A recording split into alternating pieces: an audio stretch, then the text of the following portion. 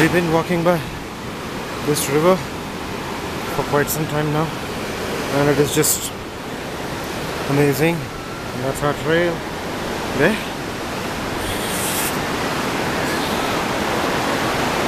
This is just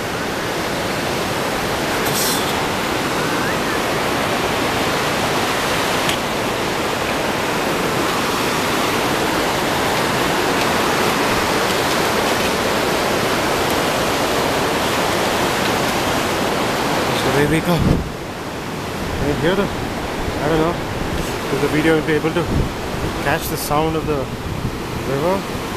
It is just fantastic.